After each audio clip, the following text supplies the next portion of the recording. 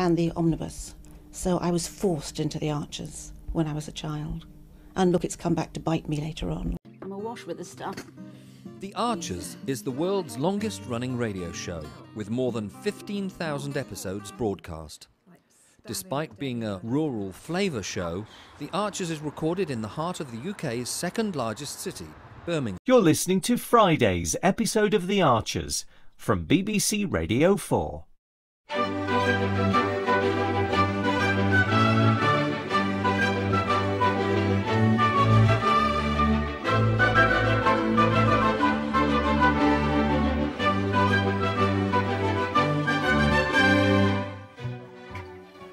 I come with you for a look? Sorry, almost ready.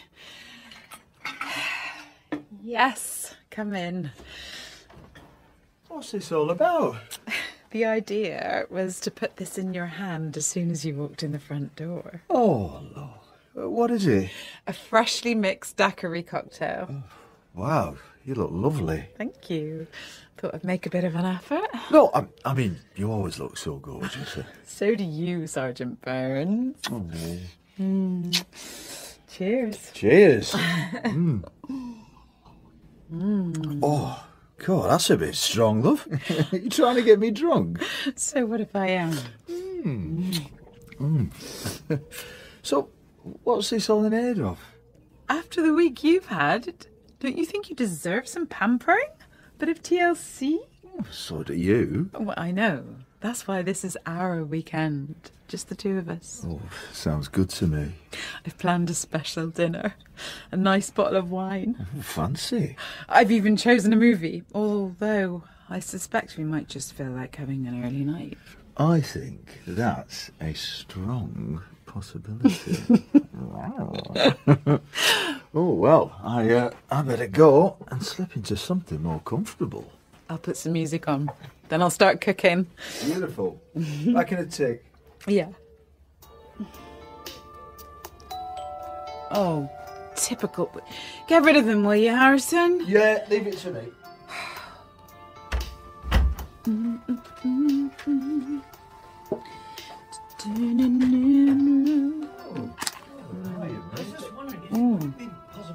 Delicious. Fallon. Who was it? Well, it's um, it's uh, it's, it's Robert. Love. Sorry? Good evening, Fallon. I, I just thought I'd pop in to update Harrison on my efforts to increase community vigilance. No. I did suggest another time. I just think it's all rather urgent, don't you? Well, why don't you give me the gist of it, Robert? Righto. Um, as long as I'm not interrupting anything. Not at all. well, why would you be?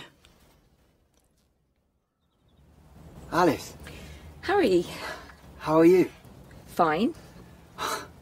Oh, it's good to see you. Yeah, I um, I just wanted to drop off some support material I've collected. Oh? Uh, leaflets, flyers, a few articles I kept hold of. Oh, that's really kind of you. Yeah, here. You might find some of it useful. Thank you. Well, You coming in? uh, no, I'm not stopping. Uh, well, maybe we could sit and look at this stuff together. Y- You could point out what you found most helpful. Uh, ten minutes. Great.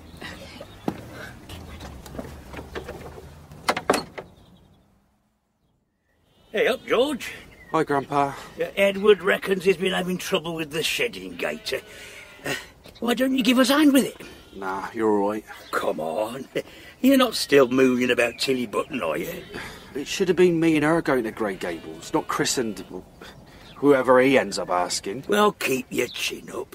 Hey, uh, what about your Bartleby videos? All that's been going well, ain't it?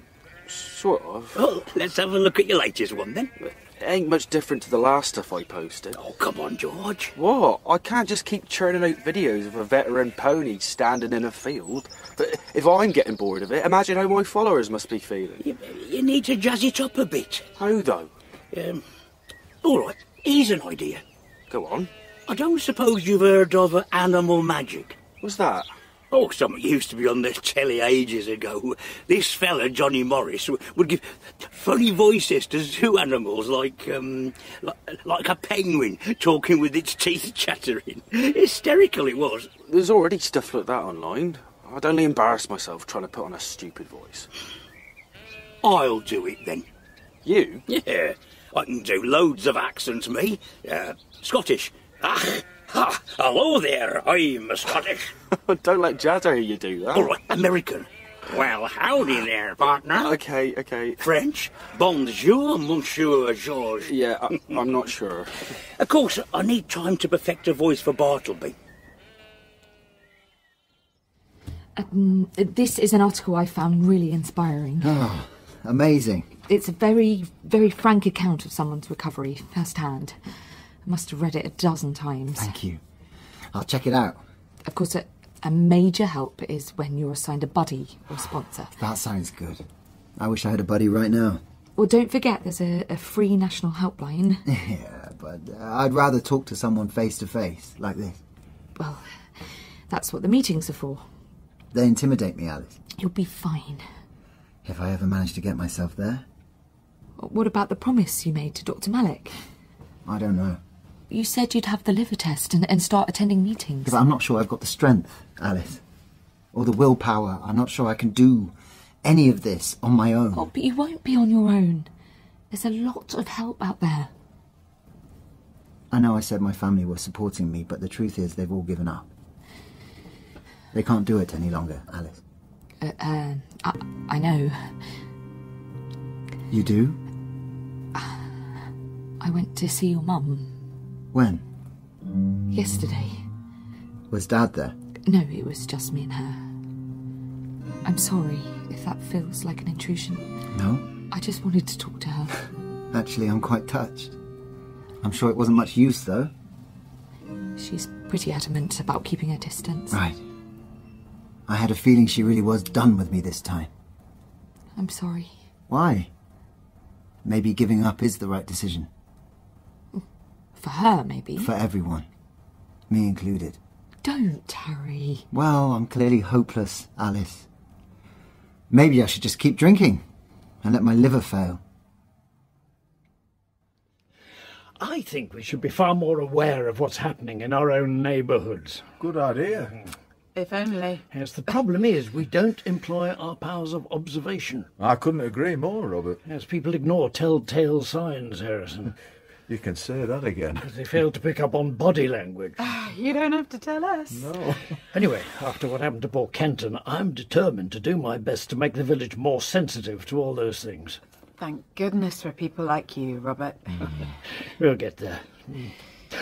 Oh, goodness, look at the time. Um, I should be heading off. Oh, r- really? So soon? Um, actually, it happens to be my birthday today. Oh, Robert. Oh, happy birthday, my mate. Oh, thank you. Um, the only reason I'm out is because Linda's preparing me a special meal and asked me to make myself scarce. I see. Oh. Could have stayed at home, but then I thought, why don't I come and give you an update on everything? Well, I'm glad you did. Anyway, I was told to be home for dinner at six o'clock, so. Oh, and you don't want to be late for that. Absolutely not. Oh, was that me? Oh. Oh, it's Linda. Is everything all right? Uh, not really. She's she's having a stroganoff crisis and doesn't want to see me for another hour. An hour? I mean, uh, w- what are you going to do?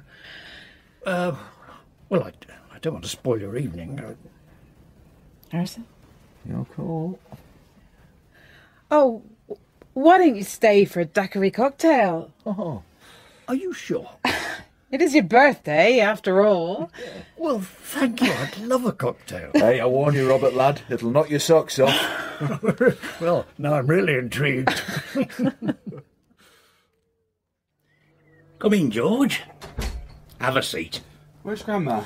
Oh, your nana wanted her to do some video testimonial thing down the village shop before they shut. Any road, I think she's had enough of me trying out my Bartleby voices. Is that what you want to show me? Prepare to be dazzled, George. I'm not sure this is going to work, Grandpa. Oh, how can you say that when you ain't heard it? You've settled on one then? The perfect voice for a geriatric pony like Bartleby. All right, go on. Oh, good afternoon, viewers. I'm Bartleby Grundy, and welcome to The View from My Paddock. You what? The view from my paddock. You sound a bit like Oliver. Anyway, you haven't had the full effect yet. Get one of your Bartleby videos up on your phone. okay. Sound off Ready? and play. Hello again. I'm Bartleby Grundy, and what, you might ask, is the view from my paddock this evening? Well, a certain cravat-sporting farmer has been spotted stepping out with a new lady on his arm. One had assumed he was well past it, but it seems there might be life in the old dog yet. What, you mean Brian Aldridge? I can neither confirm nor deny. This is actually pretty funny, Grandpa. See? I told you it'd work. This is absolutely not the time to give up, Harry. I have tried so many times to stop. None of this is easy, and we've all had setbacks. I certainly have. I'm not as strong as you, Alice. L- listen to me. Every day is a test. For you too. Yeah, of course.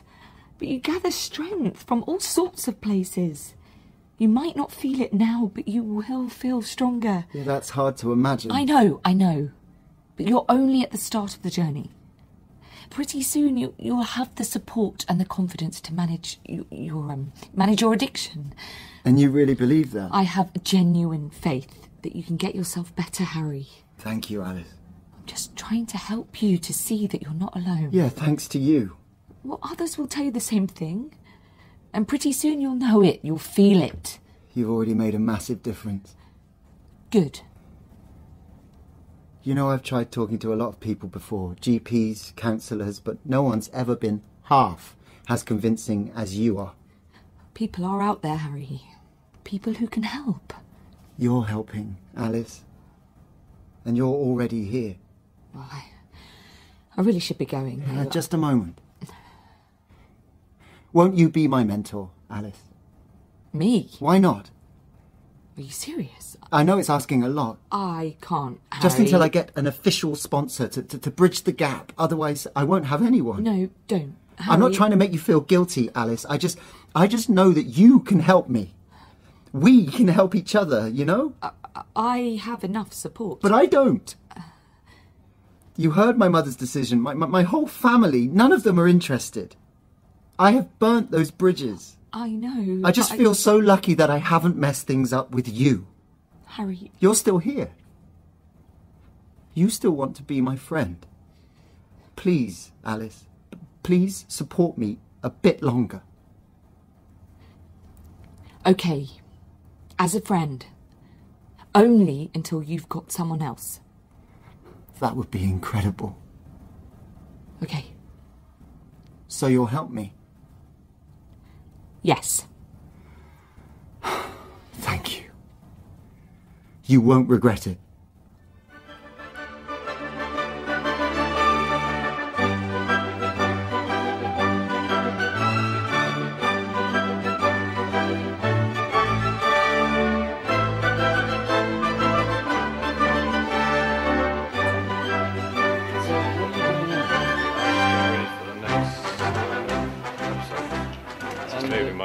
So what do you do?